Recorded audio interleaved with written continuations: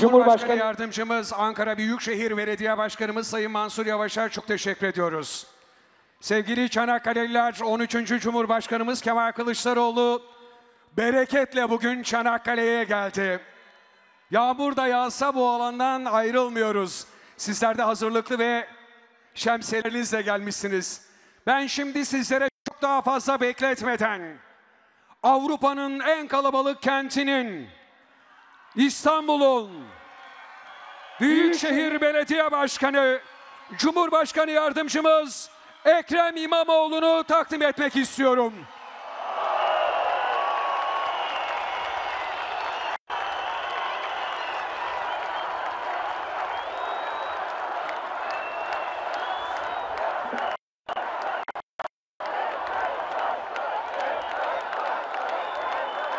Çok teşekkür ediyorum. Çok teşekkürler. Sizlerle bir arada olmak gurur verici. Çanakkale'deyiz. Çanakkale'li güzel dostlarımızla, hemşehrilerimizle bir aradayız. yağmur, yağmur geldi, bereket geldi. Yağmurda da ıslanacağız, pırıl pırıl güneşte de hep birlikte güzel bir geleceğe adım atacağımız günler yaklaşıyor. Sizleri sevgiyle, saygıyla selamlıyorum. Hanımefendiler, beyefendiler, sevgili gençler, çocuklar, hoş geldiniz, sefalar getirdiniz.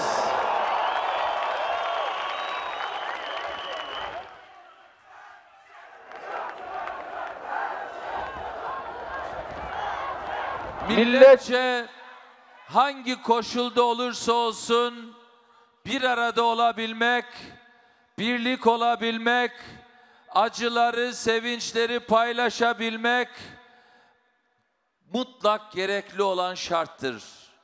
Biz neredeyiz? Çanakkale'deyiz. Çanakkale ruhu milletçe hepimizi sarar sarmalar.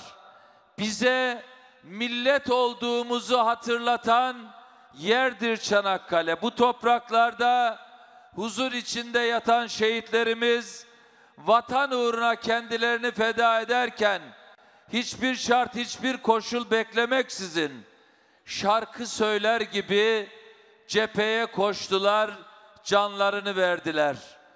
Dün Tokat'taydım. Kınalı Ali'yi 15'lileri bilirsiniz. İşte bu destan bu milletin her ferdinin, her etnik kökenden, her milletten insanının yazdığı büyük bir destandır. Çanakkale aynı zamanda bir savaş değil, barışın değerini öğreten bir savaştır. Mazlum milletlerin bağımsızlığa dönük mücadelesinin en önemlisidir. Çanakkale ruhu bizi millet olarak sahip olduğumuz manevi hazinelerimizin en değerlerinden biridir. Bu ruhu asla kaybetmemeliyiz. Bu ruhu asla zayıflatmamalıyız. Hep birlikte işte o dönem ortaya konan ruhu 21. yüzyıl temsil etmeli, mücadelemizi sonsuz vermeliyiz. Hiçbir fark gözetmeksizin her kökenden, her inançtan, herkesin, gençlerin can verdiği, bu vatan için verdiği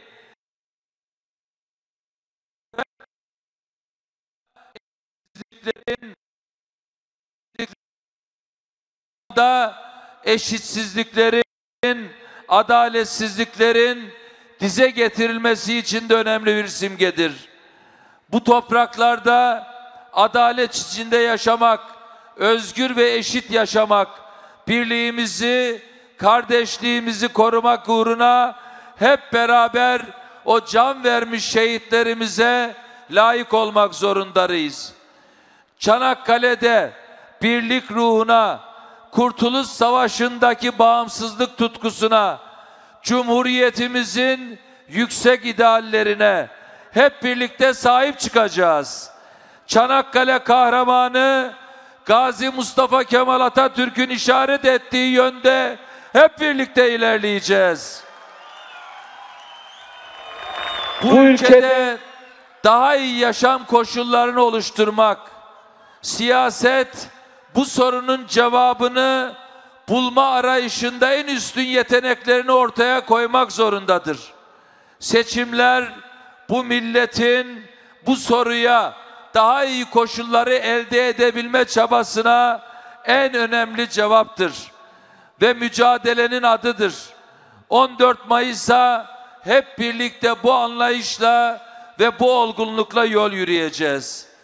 Demokratik seçimler milletimiz için bir irade beyanıdır. Bu nedenle seçimlerde her koşulda millet kazanır ve sadece kendi iradesini yine millet beyan eder. Yine öyle olacak. Yine millet kazanacak. Yine birlik kazanacak ve kardeşlik kazanacak. Sonuçta milletin ittifakı kazanacak ve sonuçta adaletin, hak ve hukukun mücadelecisi ve bu sürecin ittifakın lideri 13. Cumhurbaşkanımız Sayın Kemal Kılıçdaroğlu kazanacak. Bu millet Cumhuriyet'in ikinci yüzyılına ve 21. yüzyılın önümüzdeki sürecindeki dönemine çocuklarımızın ve geleceğimizin teminatı olan gençlerimiz için yoğun bir mücadeleye hep birlikte koşacağız. Kol kola koşacağız.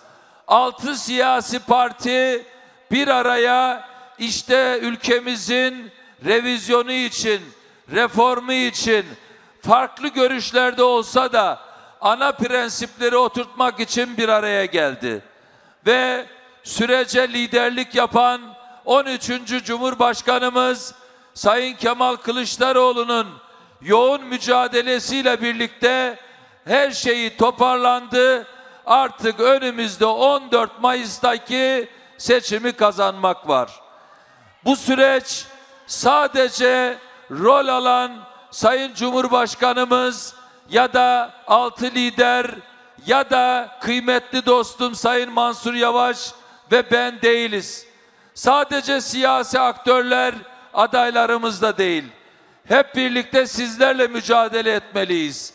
Hep birlikte eşimizi, dostumuzu, komşumuzu, iş ortağımızı, herkesi ikna etmek için güler yüzle, iyi konuşarak, iyi dinleyerek hayatımızın en üstün mücadelesini vermeye var mısınız?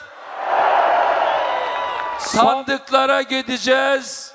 Büyük bir oy patlaması yapacağız. Aynı zamanda hep birlikte sandıklara sahip çıkacağız. Sandıklarda da hep birlikte görev almaya var mısınız? O zaman 15 Mayıs sabahı için tek şey kalıyor. O da belli. Evet, siz biliyorsunuz onu. Biliyorsunuz değil mi? Her şey her şey her şey kalın sağlıcakla her şey çok güzel, güzel olacak. Teşekkür ediyoruz. Cumhurbaşkanı Yardımcımız, İstanbul Büyükşehir Belediye Başkanımız Sayın Ekrem İmamoğlu'na çok teşekkür ediyoruz. Sevgili Çanakkale'liler, biraz önce gördüm arkadaşlarımız orada soğanla gelmişler. Soğan getirmişler. Hoş geldiniz bir kez daha. Burada anapartalardaki gibi hücum da etseler, Millet İttifakı olarak